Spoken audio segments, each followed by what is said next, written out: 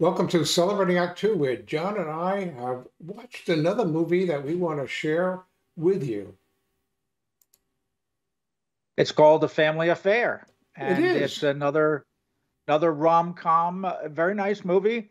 And if you can recall, um, I asked Art last week when we reviewed um, the uh, what was the movie we were looking? It was The idea of you.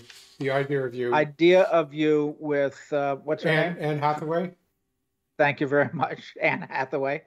Um, I asked Art to review this movie, uh, A Family Affair, because I had seen this very similar, two very similar movies. But we'll get to a comparison of those in a little while. All right. First, let's talk about A Family Affair.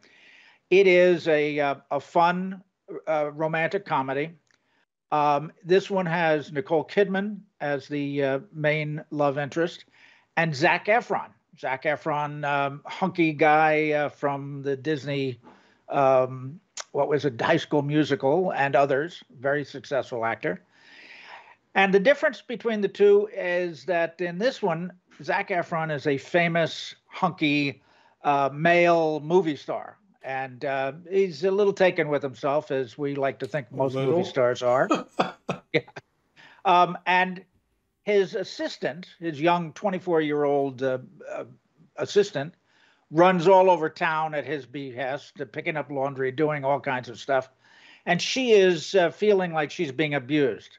Well, she complains to her mother, and her mother, uh, who is a widow for 12 years, says, Well, you know, you got to quit.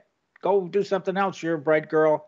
And when she does quit, the movie star says, Oh, I've got to go. I, I can't lose her. She's too valuable. Comes to the mother's house and ru- runs into this beautiful young mother and says, Holy cow, you, did you have a, a uh, your baby when you were uh, a baby yourself? and of course love blossoms and they fall uh, they fall in love and the daughter who's 24 years old working for the boss has a problem with this so the relationship movie is uh, with the daughter having a problem uh, different ages different uh, situations uh, very well done nicely well acted um, but i did have some problems with it. What did you think of this movie art? So here's here's the deal. Uh, you've been going on and waxing poetic about it. Bigger stars, acting was first rate, story not as believable. First of all, let me bottom line it. I enjoyed watching it.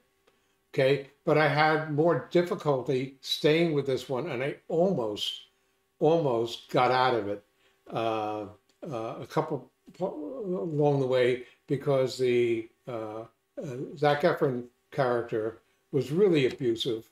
Uh, the daughter was uh, thought she was going to be his assistant, then a producer, and uh, really smart uh, uh, uh, young lady. And uh, uh, so I enjoyed her, but uh, it it was far more improbable as a different age relationship like the last one was. And so Yeah. that's why I had more trouble trouble with it. And Zac Efron had less redeeming value. As a matter of fact, there was nothing wrong with the the lead uh, younger boy, uh, and he was more of a boy than a young man, uh, as Zac Efron was. So I had a harder time believing it. That uh, also that they, they would so quickly get involved in a sexual relationship with the mother and things like that. So it just wasn't as believable. Although uh, as uh, as uh, performers, they were great. I will tell you though, there was nothing breakout about any of these performances in either one, except in um, uh, the idea of you. This Joey, was it? Uh, no this is a, a, a family affair the one we're Family talking Affair. about today Uh, yeah, the family affair. The, the breakout was this uh, the daughter, Joey Kerr. joey okay. king yeah Uh, and I ju- yeah uh, yeah King, and she was just absolutely fabulous. That's why I stayed with it. Okay. Yeah, it is- Because she was yeah. she was terrific. She was. Uh, if you watched it for no other reason than to watch for her progression and how she Yeah. handles stuff, it's worth worth the movie alone Yeah. for her for this performance. I, I agree. In fact, I would I would suggest that the first half of this movie, which is really about uh, Zac Efron, the, the movie star, Yeah. meeting and falling in love with the mother um, of Nicole Kidman, the first half of this movie is the romantic comedy part of it. And you know what? It wasn't that great. If you stick around for the second half of the movie, that's where it becomes interesting. And it's not about the May December romance, really. It's about the three women. We mentioned we forgot to mention Kathy Bates plays right. the grandmother. And she was terrific. And it's a really the the second half of the movie is about the relationship of the three women dealing with the mother's romance with a younger man, and that relationship between um, Nicole Kidman, the mother, Joey King, the daughter, and Kathy Bates, the grandmother, really is wonderful. A wonderful storyline, great acting.